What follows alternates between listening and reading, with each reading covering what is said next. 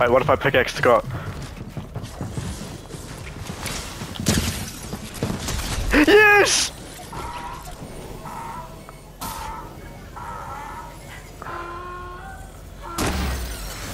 There's no way. I pickaxed him.